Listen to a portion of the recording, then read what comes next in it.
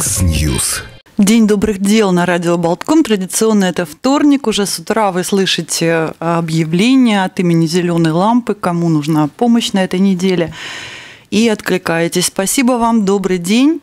В эфире «Зеленая лампа» – программа о тех, кому нужна наша помощь, и для тех, кто хочет помогать. Веду ее сегодня я, Рита Трошкина, наш звукорежиссер Родион Золотарев. И в гостях у нас музыкант, пианистка, руководитель фонда Германа Брауна Инна Давыдова. Здравствуйте. Добрый день. И она еще сейчас к ее титулам многочисленным можно присоединить еще один хозяйка нового только что открытого э, камерного концертного зала «Артиссимо». Вот был фестиваль у вас «Артиссимо», да, и теперь вот уже расширилось это понятие. Поздравляем. Спасибо.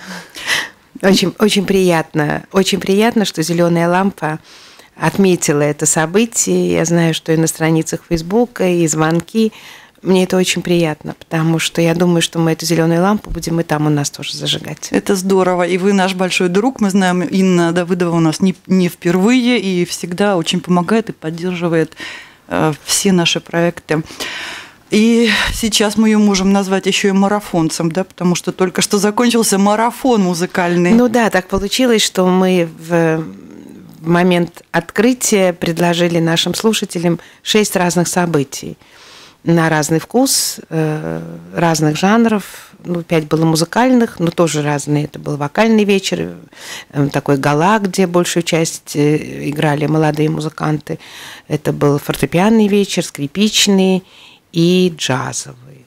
А потом у нас был литературный вечер, чему я несказанно рада, потому что как-то вот так шажок за шажком я приближаюсь каждый раз к своей новой очередной мечте.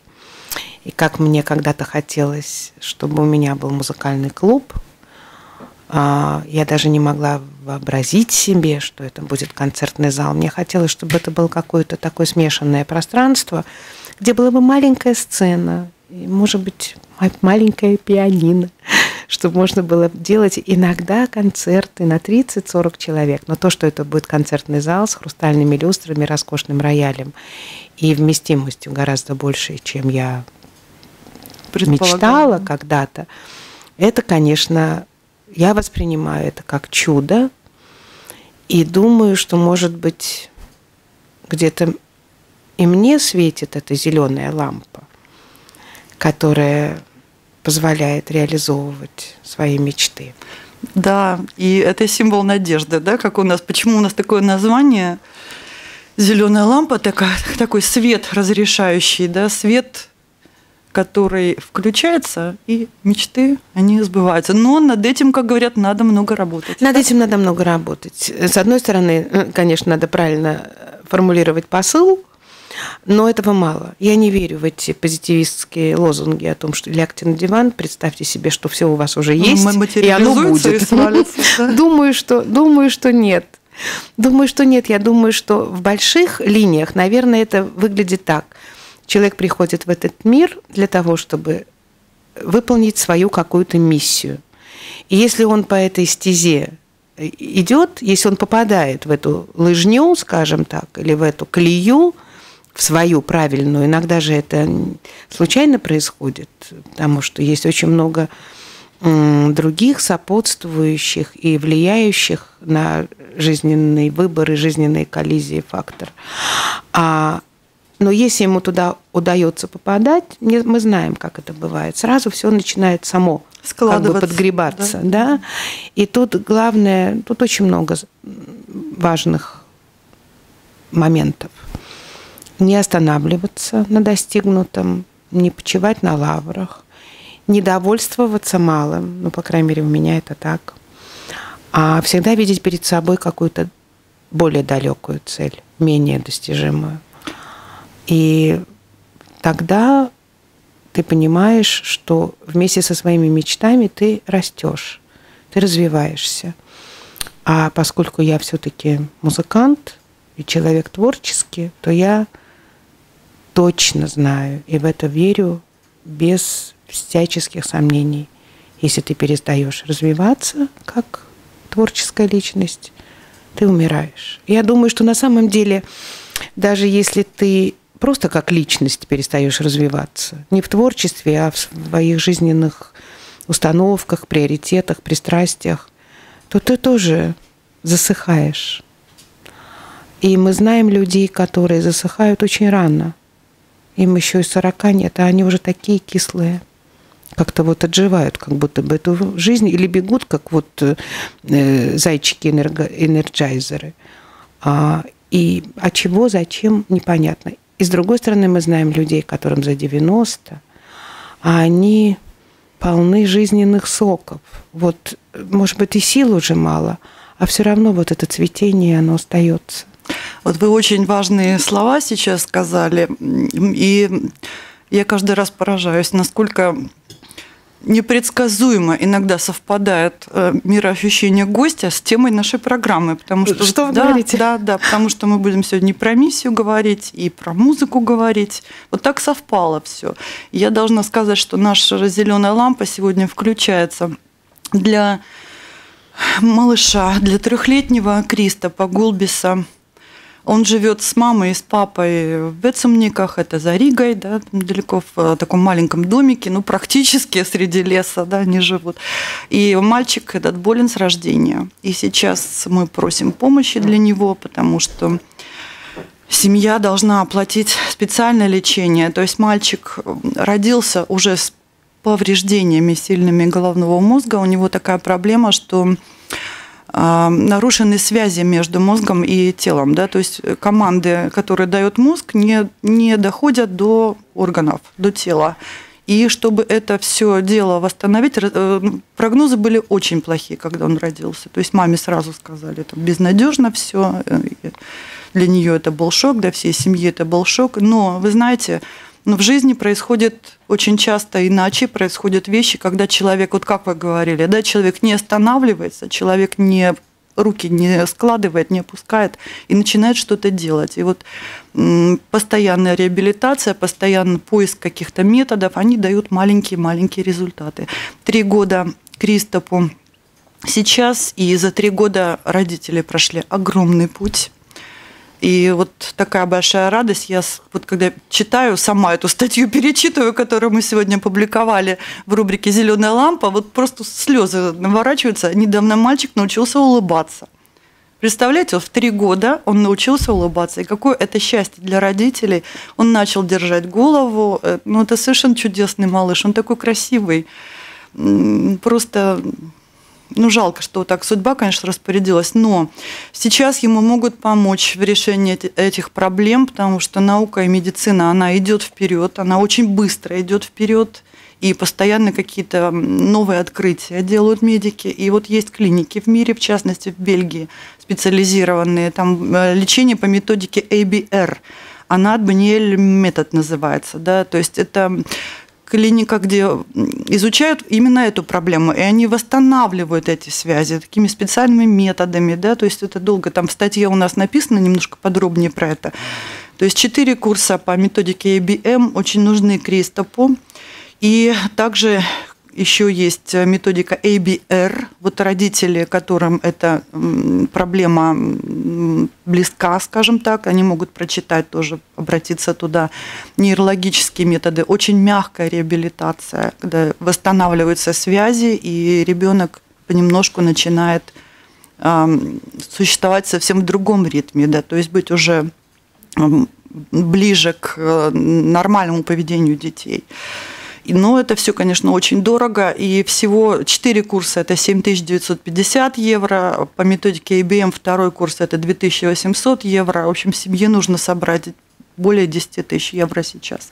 Наш телефон, телефон зеленой лампы 9306384 повторяю, 9306384, евро 42 цента за звоночек. Он работает всю неделю для малыша, для трехлетнего Кристопа Гулбиса. И также в благотворительном фонде Be Open, с которым мы сотрудничаем, совместно делаем программу, открыт счет для Кристопа, чтобы вот собрать эти денежки на эти курсы реабилитации, потому что они именно дают результаты. Они дают результаты. И по Кристопу это уже видно. А о том, какие у него родители, я чуть позже еще расскажу, потому что мама Эгия, она, она занимается музыкой. Она просто вот человек, который фанатично любит музыку с детства, да, и любимый фильм у нее, сразу скажу, «Звуки музыки» Джулия Эндрюс, да, потому что ну, кто, кто смотрел этот фильм, тот ну, никогда не все смотрели, да? да Но да, не да. все, может быть, молодежь и не видела уже, хотя мю- мюзиклы есть, да? Мюзикл, ну, ну, есть э, вот этот фильм, мне кажется, просто всей семьей смотрят, э, когда дети маленькие. Мы его тоже показывали несколько лет на как часть нашего фестиваля «Артиссима». Все mm-hmm. то же самое «Артиссима». Mm-hmm. И у нас в рамках большого музыкального фестиваля был маленький кинофестиваль с названием «Артиссима Синема». И кстати, мы это будем продолжать и в нашем зале. Мы там показывали музыкальное кино. И обязательно один из разделов был кино для всей семьи. И, конечно, первым делом это пошли звуки музыки. Звуки музыки, да. да? Напомним, что э, героиня, которую играет Джулия Эндрюс, там этот фильм получил много Оскаров да. Да, в свое время. 65-го года фильм. И она воспитывает семерых детей, там любовь, там дети, там музыка, все, и поет постоянно. Это очень музыкальный фильм, и в свое время он был хитом, и сейчас тоже это... Нет, я могу даже рассказать такую малюсенькую историю, да. что когда мы этот фильм показывали в Юрмале в э, музее города, там нам выделили пространство, и мы могли там показывать кино, бесплатно для всех. У нас собиралось там, по 150 человек, иногда по 180. И приехала моя подруга, самая детская моя подруга, самая детская. То есть мы познакомились, когда мне было 4, а ей 3. Замечательно. И а, она приехала с двумя детьми, и мы думали, что мы детей посадим смотреть кино, а сами с ней пойдем на улицу, сядем в кафе и будем общаться. Угу. Мы как сели, она сказала, давай минутку посмотрим. И эта минутка превратилась полнометражный фильм. Мы не могли оторваться, сами, взрослые девушки. Ну, ну вот Эги, маме малыша, о котором мы сегодня говорим, ей тоже очень нравится этот фильм, он у нее любимый. А сама она, она жила в Риге раньше, потом она переехала к мужу в Вецумниеки. И она пела в хоре, в камерном хоре «Кантус».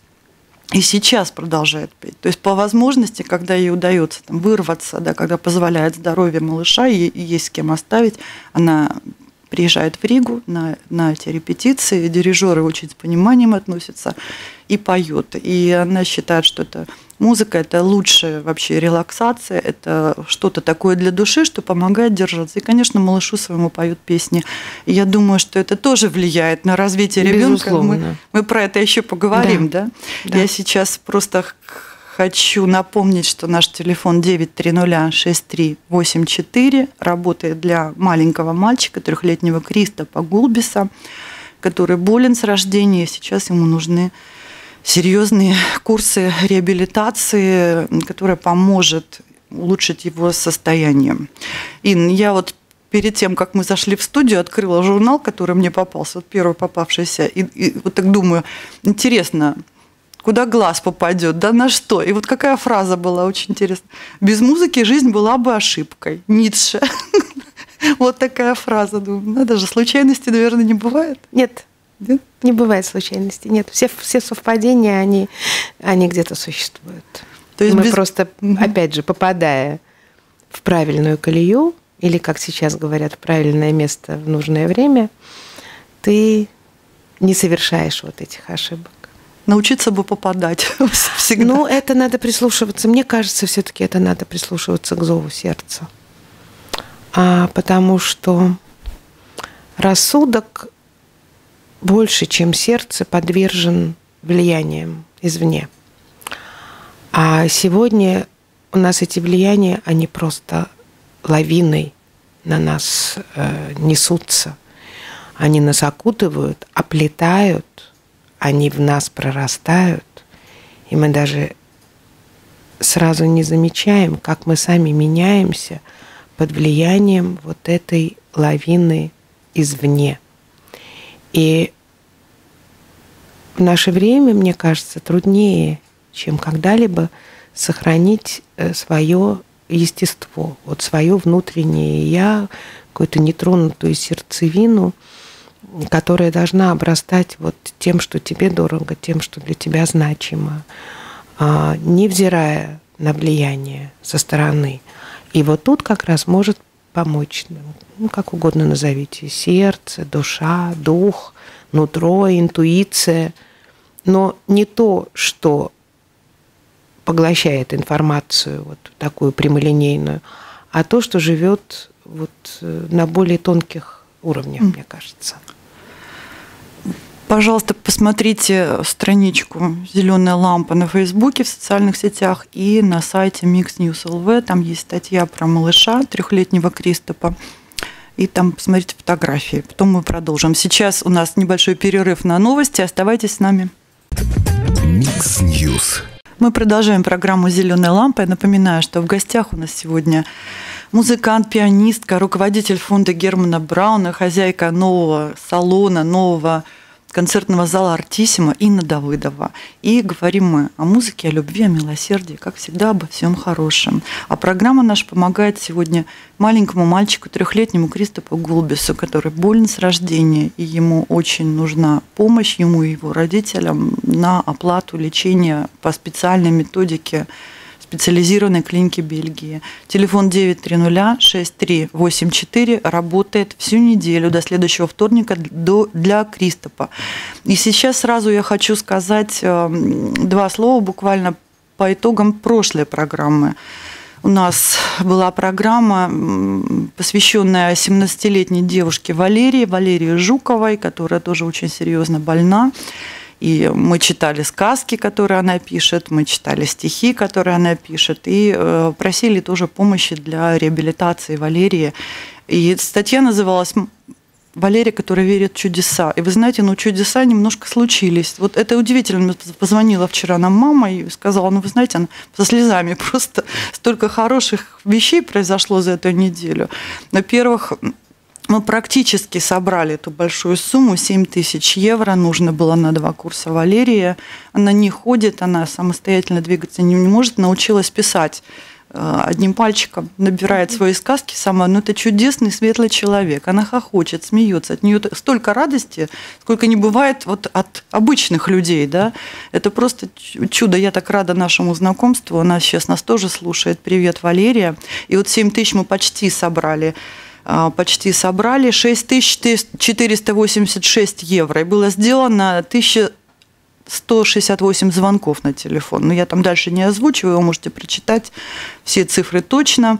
Не хватает около 500 евро, но надеемся, что это все соберется, да, потому что счет работает, телефон уже переключен, а счет Валерии остался. И вот практически два курса мы с вами ей подарили, смогли обеспечить. И э, на следующий день после нашей программы вдруг поступил очень большой денежный взнос. Мы не знали от кого, мы потом узнали, да, то есть одна женщина просто перечислила. Я думаю о том, нас как все-таки не иссякает вот этот источник милосердия. Это потрясающе, потому что настолько часто говоришь о том, что люди теперь замкнуты на себе, что они эм, озлоблены тем, что вокруг них происходит, не только в Латвии, вообще в мире, что они напуганы, что они не хотят думать о будущем и, и так далее, и так далее. И вот эти ситуации чужие, они, в общем, показывают, сколько в людях добра. И я только думаю о том, ходит такой мем по Фейсбуку, надо было бы сделать наоборот, как бы на зарплаты некоторым да, товарищам да. собирать, а чтобы вот больных детей все-таки помогало э, лечить государство. Ну да, потому что это иногда было бы, вопрос денег. Это даже. было бы, это было бы, наверное, правильно. А, но мы живем и существуем там, где мы есть, и в таких обстоятельствах, которые мы, ну как бы глобальные обстоятельства мы изменить не можем. Но вот поступая хорошо, мы потихонечку этот мир все-таки меняем. Я в это очень верю. И когда я читаю отчеты зеленой лампы или когда призывы читаю зеленые, я всегда откликаюсь, потом пишу дан по-английски дан, как мне сын пишет, если я ему даю задание, он мне потом пишет дан, сделано. И я тоже вам пишу дан, потому что я либо перечисляю деньги, либо звоню, один за другим звонки делаю. Каждый делает это в меру своих возможностей. Но главное то, что люди откликаются. И когда я читаю ваши отчеты, я каждый раз ну, плачу, потому что э, это нельзя принимать как должное. Никогда. Ну, удается, вот всем вместе удается что-то сделать. Это не печальные истории, на самом нет, деле. Нет, это, истории это истории, это, как это называется, история, это история успеха. Это, я думаю, что это история успеха человеческого духа с обеих сторон. И со стороны тех, кто борется за это здоровье и за эту жизнь своих детей и самих себя, эти дети. Это да. А с другой стороны, это история успеха каждой личности, которая жертвует эти деньги, которая помогает. Э, потому что, сделав вот это доброе дело, ты действительно Себе помогаешь, успех правда? ощущаешь в душе. Я и... думаю, что сравнить с этим вообще мало что можно. Инна, но вы же и ваш фонд Германа Брауна тоже очень много добрых дел делает. Расскажите, пожалуйста. Да, давайте ну, знаете, вспомним. честно говоря, даже неудобно об этом говорить. Удобно, э, удобно. Об этом нужно говорить, и я настаиваю. Три дня назад у нас э, в нашем концертном зале «Артиссима» состоялся концерт Вестерта Шимкуса – я чуть не упала со стула, когда он в рассказе, а он сопровождал игру маленькими такими миниатюрными рассказиками, а, рассказал о том, как он учился в Испании у Башкирова и сказал, что он туда попал только благодаря усилиям Инны Давыдовой, хозяйки этого зала. А вот. Я, ну, я, я знаю, как он ко мне относится, но я не думала, что он об этом будет, будет говорить во время концерта. Конечно, я была очень тронута. Он был первым человеком, музыкантом, которому мы ну, я, я очень серьезно помогала, очень долго, с его 14 лет до его, наверное, 24-25, то есть долго, почти, наверное, лет 10. И я просто счастлива, что он стал таким большим музыкантом, взрослым, солидным, умным, образованным, интеллигентным, одаренным и абсолютно таким особенным вот, и человеком, и музыкантом. И я счастлива, что я в свое время смогла ему помочь. Конечно, э, мы не бросали клич, тогда мы еще не бросали клич «помогите Вестерду». Я просто делала это из своих собственных э, расходов, э, из своих собственных денег, и сколько могла, столько помогала. Потом были другие, и вот днем раньше, чем концерт Вестерда, состоялся концерт Илины Букши. Вот, хотела про нее спросить. Да, вот мы не под... можно было ее пригласить угу. сегодня, мы не подумали, она сейчас в Риге еще два дня. А я просто знаю, насколько она сердечный человек, и у нее вообще была особенная жизнь, исключительная для современного ребенка. А ее в 10 лет педагог забрал от родителей и увез к себе, потому что уехал в другой город преподавать игру на скрипке. Она родилась в Айскрукле и пошла в 6 лет в музыкальную школу к э, профессору Эру Калниншу. А потом он уехал из Айскруклы, уехал в Юрмалу, там, где у него был дом и музыкальная школа. И он уговорил родителей десятилетнюю девочку отдать чтобы можно было заниматься по-настоящему. Потому что он сказал, здесь она закиснет, тут нет таких педагогов, я из нее сделаю настоящего скрипача. Да, удивительная история. Это удивительная история, она у него жила, она у него жила много лет, Потом она против него восстала, как положено, в подростковом возрасте. Съехала с их квартиры, сняла угол, потом вернулась. Ну, в общем, все как положено. Но если бы не он, если, если бы не его э, эти абсолютно невероятные усилия, если бы не его способность убеждать, как бы он отнял у живых родителей ребенка – для того, чтобы играть на скрипке. Мама до сих пор, эта девочка, уже взрослая мама, до сих пор вспоминает с содроганием, как она страдала, потому что она девочку видела раз в месяц. И как мы помогали этой девочке, сначала купив ей смычок, поскольку сам Оэр Калнич пришел ко мне, играя глазами и кокетничая, стал значит, просить помощи. Такой роскошный человек в возрасте с горящими глазами, невероятный музыкант, невероятный педагог скрипичный. А потом были такие ситуации, когда действительно надо было бросать клич потому что нужны были джинсы, потому что нужна была куртка, потому что нужны были сапоги, потому что девочка росла, потому что надо было отправлять ее учиться, потому что надо было покупать ей струны для скрипки и так далее. Этот список был бесконечный. И вот тогда я на, на ее опыте, на нашем с ней опыте, я вот стала расти как фаундрейзер для детей. И действительно все откликались. Не было ни одного случая, чтобы кто-то, кому я обратилась за помощью для девочки, скрипачки, чтобы кто-то отказал. Ну а потом это все, таких было много. Я помогала в свое время еще другим музыкантам и, и учиться в других городах, и, и, и помогала, когда они уже поступали, кто в Московскую консерваторию, кто в Испанскую королевскую академию, кто вот в Бельгии, как Элина – а потом это превратилось в большую программу «Аванти», Аванти программу да. поддержки молодежи.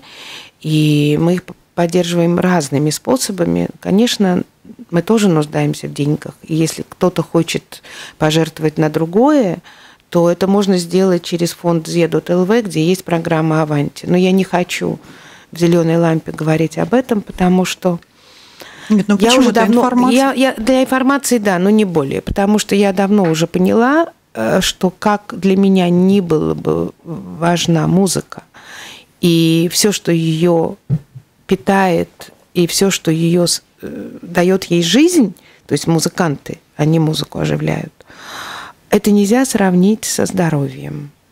И если государство не очень богатое, и люди в нем делятся последним, то если бы мне надо было делиться последним, я тоже давала бы на здоровье, а не на культуру. Как, как мне не прискорбно это произносить вслух. Ну, мы надеемся всегда. Но мы всегда надеемся на то, что у людей разные приоритеты, и что все-таки этого, этой волны, скажем, финансовой, что ее будет достаточно, чтобы эти капельки, Главное чтобы желание. они попадали на разные да, почвы. Да, да. Главное желание, конечно. И сейчас мы, мы очень многим помогаем. Мы помогаем ребятам, которым нужны э, музыкальные инструменты. Мы помогаем ребятам, прежде всего, сейчас они все просят на э, какие-то поездки за рубеж, либо на конкурс, либо на мастер-классы, либо на учебу.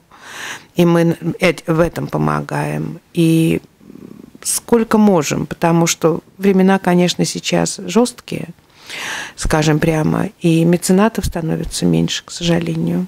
И я вот тут все-таки хочу вспомнить Бориса Тетерева, который в том числе помог Илине, Илине поначалу, на в тот момент, он... когда у нее была действительно критическая ситуация, угу. и я не могла ей помочь, потому что у меня просто вообще не было никаких денег. То есть я ей помогла за два месяца до этого, этого оказалось недостаточно, и она оказалась в очень неприятной, этически неприятной ситуации. Ей тогда было 17, наверное. Я не знала, к кому мне обращаться. Мы с Тетеревым не были знакомы. Я позвонила своей подруге в Министерство культуры, она позвонила тут же Тетереву, нас связали, он моментально ей помог. Потом мы познакомились, потом она стала его стипендиаткой, потому что она училась как раз в Бельгии, и нужны были все время средства, они выплачивали ей стипендию. Она ежегодно приезжала, играла на разных вот событиях. Играла да. на прощании. Да, да. И просто так совпало, что она оказалась соборе. здесь. Угу. Да, она оказалась здесь. И она тут же, она, во-первых, как только она об этом узнала, о, об этом несчастье, она позвонила мне, и мы с ней хором сказали одно и то же, что надо посвятить концерт ее сольный памяти Бориса Тетерева. Вот тот концерт, который состоялся 4 октября у нас на концертном зале «Артиссима». А после этого, когда мы узнали, когда состоится прощание в церкви Святого Иоанна, конечно, она играла там. Играла, да. да. Это, конечно, человек, э, которого не забудут здесь. Столько, столько было сделано. Никогда не забудут. Никогда не забудут. Человек. И я только сейчас, э, можно сказать, молюсь о том, чтобы все те, кто остались в этом фонде, вокруг этого фонда, чтобы у них хватило моральных сил, прежде всего у Инары, продолжать это с той же интенсивностью, с теми же усилиями, с той же направленностью позитивной, с которой это делал он. Потому что только таким образом его воля настоящая будет выполнена. Это правда. Это правда. Я хочу еще напомнить, что наша программа сегодня помогает маленькому трехлетнему Кристопу собрать деньги на очень важное для него лечение. Мальчик болен с рождения. И если вы посмотрите, почитаете статью, которая опубликована в рубрике «Зеленая лампа» на сайте Mix News LV, вы увидите там потрясающую фотографию Это фотография из эм, проекта.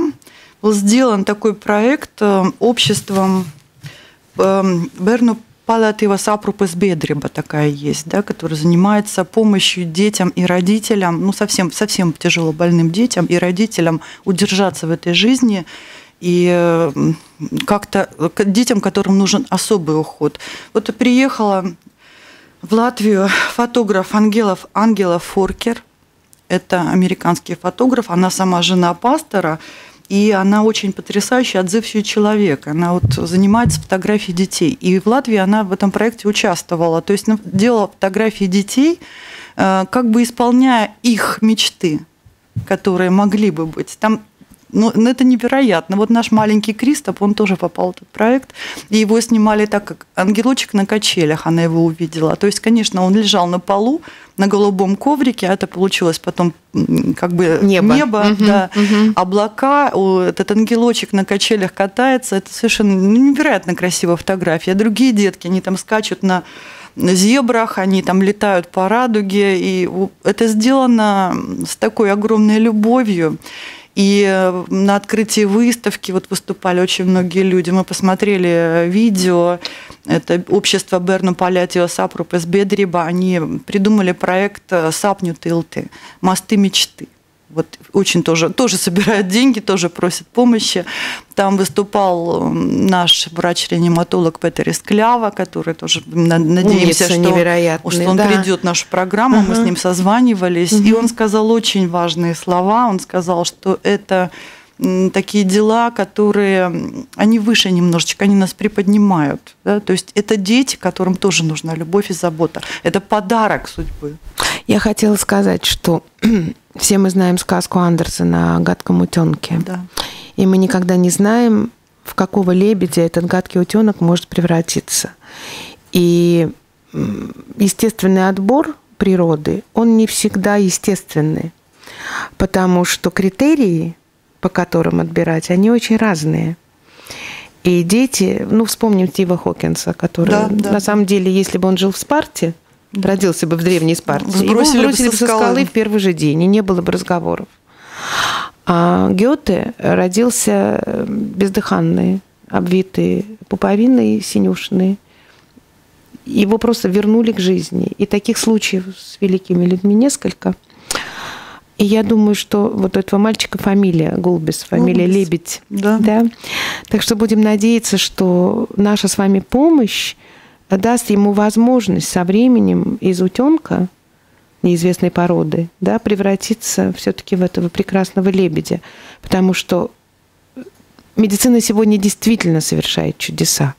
Но чудеса медицины – ничто без людского сердца, без людской помощи. И без веры. И без веры, конечно. Вот вера родителей, наша людская помощь и усилия э, медицинской науки, они действительно все вместе могут сотворить чудеса.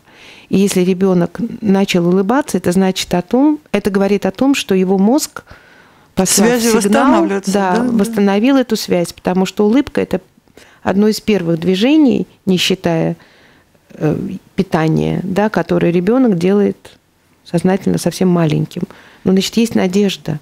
У родителей очень интересная история. Они познакомились давно, еще в молодости совсем ранней, но тогда ничего у них как-то искра не проскочила. А вот через там какое-то количество лет они снова встретились, и, как они сами говорят, улыбаются, говорят, наверное, мы должны были созреть Наверное, мы должны были к этой задаче быть подготовлены. Мы же не знаем, как это все случается, знаем, как нас да. соединяет. И они вот реально, не говоря громких слов, но вот считают, что это миссия такая. Вот им дали этого ребенка, они безусловно его любят. Я в это тоже очень верю.